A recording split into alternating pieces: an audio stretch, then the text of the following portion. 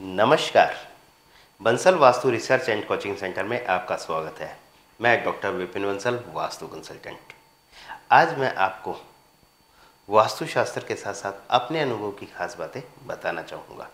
आज के समय में हर व्यक्ति अपना नया घर बना रहा है।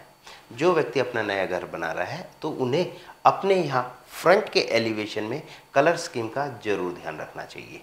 क्योंकि आज के समय में जिस हिसाब से घर बन रहे हैं बहुत ज़्यादा डार्क कलर इस्तेमाल किए जाते हैं और हर दिशा के कलर वास्तुशास्त्र के अनुसार अलग अलग होते हैं। यदि आपने पूर्व दिशा में दूसरी दिशा के कलर कर दिए तो वो आपको फ़ायदा ना देकर नुकसान पहुंचाएँगे। तो ऐसे में आपको हमेशा ध्यान रखना चाहिए, क्योंकि जब भी एलिवेशन तैयार किया जाता है, घर के फ्रंट में जो कलर स्कीम की जाती है, वो एक बार हो जाती है तो दोबारा चेंज नहीं होती, क्योंकि आजकल ज़्यादातर टाइल्स फ्रंट की वॉल पर लगाते हैं। स्टोन लगा देते हैं, ग्रेनाइट लगा देते हैं। पेंट का काम तो बहुत कम हो गया है, लेकिन जब ये कलर लग जाते हैं तो ये कलर बदले नहीं जाते। तो आप अपना नया घर बनाने जा रहे हैं तो आपको हमेशा ध्यान रखना चाहिए, आपका घर ईस्ट फेसिंग है। तो उसमें आपको फ्रंट के एलिवेशन में किस तरह के कलर इस्तेमाल करने चाहिए।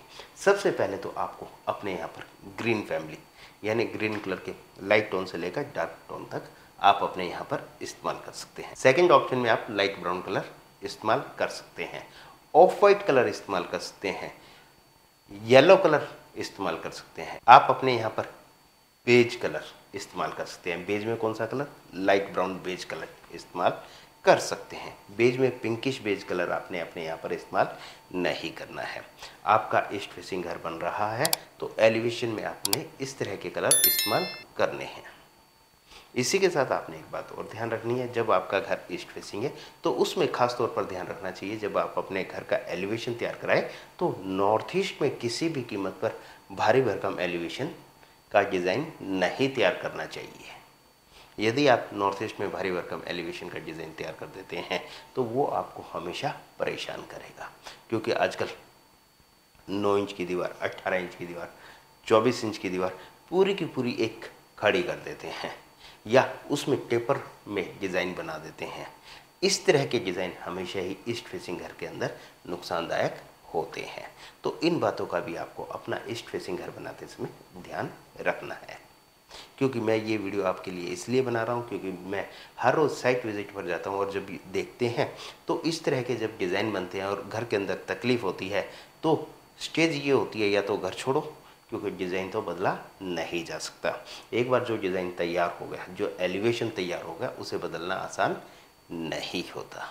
तो इसलिए आप अपना नया घर बनाने जा रहे हैं तो इन बातों का ज़रूर ध्यान रखें। मैंने अपनी इस वीडियो में जो जानकारी दी है, आपको लगता है मेरे द्वारा इस वीडियो में दी गई जानकारी सही है? तो आप अपने यहाँ पर ये बदलाव कर सकते हैं। आप अपना नया घर बनाने जा रहे हैं तो आप हमारे यहाँ से वास्तुशास्त्र के अनुसार अपने घर का लेआउट बनवा सकते हैं, मैप बनवा सकते हैं। और आप ने अपने घर का मैप बनवाया हुआ है तो आप उसे हमारे यहाँ से वास्तुशास्त्र के अनुसार चेक भी करवा सकते हैं। और आप हमें अपने यहाँ साइट विज़िट के लिए इनवाइट करना चाहते हैं तो साइट विज़िट के लिए भी इनवाइट कर सकते हैं। ये सभी सेवाएँ हमारी चार्जेबल रहेगी पेड रहेगी। आप अपना कीमती समय निकाल कर मेरी वीडियो देखते हैं। उसके लिए मैं आपका तय दिल से धन्यवाद करता हूँ।